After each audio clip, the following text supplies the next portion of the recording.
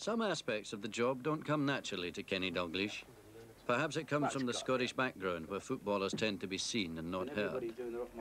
Interviewing Kenny, the press has long since concluded, can be a bit like drawing teeth, but he fulfills his responsibilities and they make the best of it. What Kenny has, has got to come to terms with is that criticism, he didn't have much criticism as a player. But as a manager, you get criticism, and you get it from various quarters, and it's something that nobody likes, and it's very difficult to accept it. But it's something that, as a young manager, he, he has got to understand, come to terms with. I think his attitude and come out was tremendous, really. Um, Lawro's playing out of position, and he's, he's as good a game as anybody on the pitch.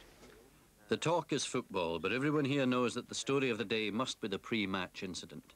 Dalglish does his best to talk only of the game, but next day the papers will say different. After the performance, we couldn't have asked for any more from any of the lads. He's a nightmare for the press. I think Kenny, if you don't know him, can be a very um, awkward guy. But I mean, he's a very private person. I mean, he's only got time for his family and people that he really knows.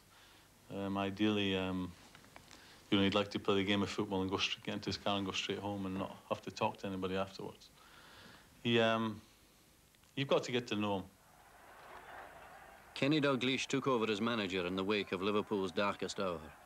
The Heysel Stadium slaughter of the innocents before last year's European Cup final added a miserable new dimension to the club's affairs that it ill deserved.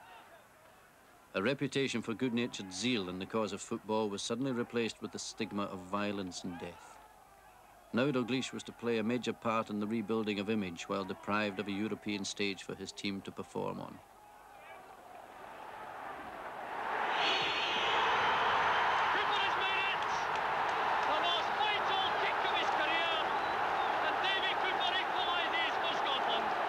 Cardiff 1985 and the goal that takes Scotland a step nearer the World Cup finals. But out of the celebration came grief with the death right after the match of Jock Stein, the man who did so much to influence Kenny's career with Celtic and Scotland. I was injured for the game, and uh, I didn't fancy going to watch the game. It would have been, uh, been worse watching it than, than, than not being there at all if we weren't playing.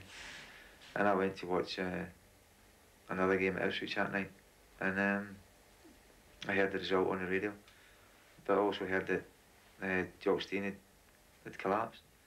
And obviously we were hoping that everything would be all right. But when I phoned home, my wife had told me that he had died. And really put into perspective football, there's no game that important that it causes somebody's life, really. But um, I think it was nice and it was and fitting. And I think it, Alec would agree as well that it was great for Jock Stein that the work he'd done for this World Cup had been seen through by the fact that lads beat Australia to qualify. About to make more football history by becoming the first Scot to play in four World Cup finals, an injury at Wembley forced Dalglish out of the Scottish squad on the very eve of their departure for Mexico. Now he will be confined to a television view of his country's progress in the finals rather than as a key participant.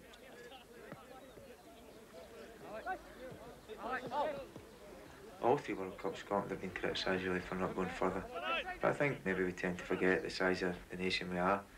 We're relatively small compared to a lot of other countries that are more successful than us.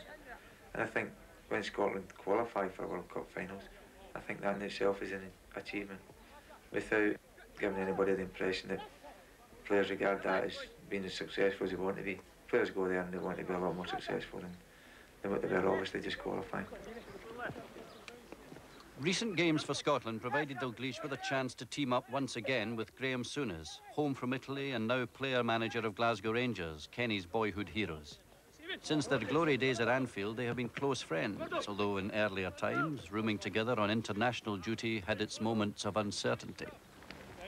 Funny story was, at least I thought it was funny.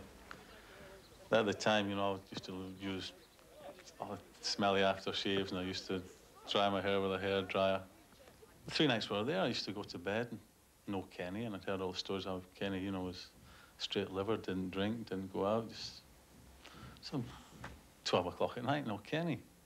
So it was only maybe five years afterwards, maybe five years, roughly four or five years afterwards at Liverpool, said, do you remember Frankfurt? I said, know, the very first time. I said, yeah. I said, where did you used to go to at night when I used to go to bed? He says, well, I'd heard you were a bit of a poof. He said, I didn't want to come into the dressing room. So like, that'll do, mate. So I went out and got married then. Glasgow once again salutes Kenny Dalglish. 15 years after his international debut, the Hampden Roar marks another milestone in this distinguished career. 100 appearances for his country and the presentation of a gold cap for his efforts. Romania will supply the opposition for this World Cup warm-up, but in the eyes of the 54,000 fans, this is Dalglish's night. But the crowd didn't realise it was probably his last appearance at Scotland's beloved Hampden.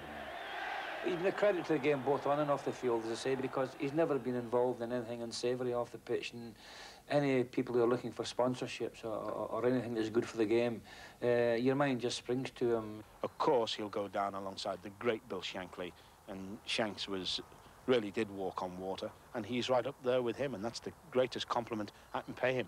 Can Kenny Dalglish not leave me anything at all? I mean, he's got to take everything away from me. He's had more money, more caps, more goals. I mean, uh, Abby's will. What am I going to leave to my children? He is by far the most capped Scot in the game's history. Indeed, the most successful Scottish footballer of the lot.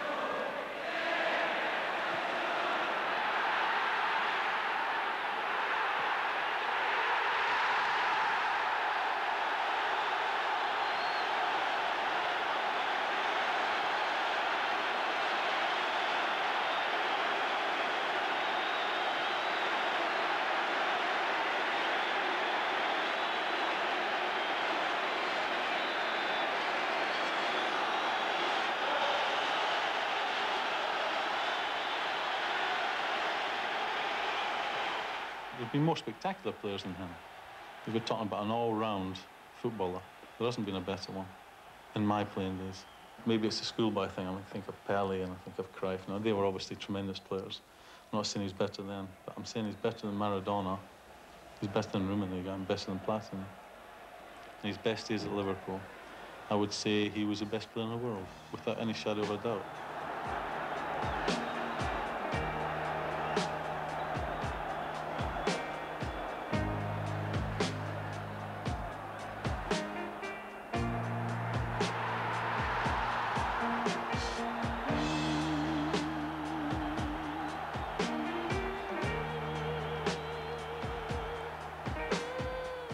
This year, Kenny Dalglish won the only medal that had eluded him in 18 years of professional football when he guided Liverpool to victory in the FA Cup final at Wembley.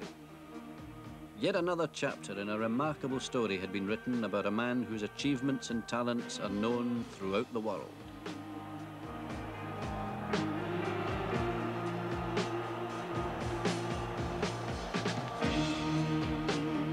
Obviously, um, you can't go on forever. As long as I think that I'm capable of doing something, whether it's at first team level or reserve team level or what, I'll continue to play. When that time stops, I'll be the first to hold my hand up and pack it.